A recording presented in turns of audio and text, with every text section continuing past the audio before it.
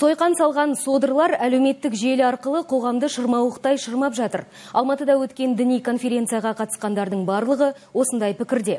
Дін талушылардың айтуынша мысық тілеулі адамдар көбіне діннен хабары жоқ жастарды жандарына үйрет. Кейін теріс уағыз насихаттап олардың санасын улайды. Бұл түйткіл тек Қазақстанды ғана емес, әлем халықтарында алаңдатып отыр. Сондықтан осы жиынға Түркия, Ресей және Тәжікстаннан келген меймандар да қатысты. Қазір Алматыда содырлардың топтасатын орындары анықталып жатыр. Мамандар олардың дені қара базарларда, автобекеттер мен ұялы телефон сататын орындарда көп дейді. Жатағым өкілдері келіп кетушілерге күдікті әдебиеттерді таратып, оларды өздеріне шақырады.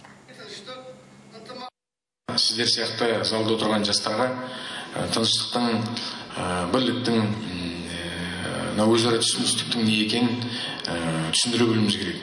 Сондықтан осындай үлкендік кішілік кездесулердің конференциялардың осы саясатты елбасының саясатын іске асырғанда атқарар маңызы үлкен.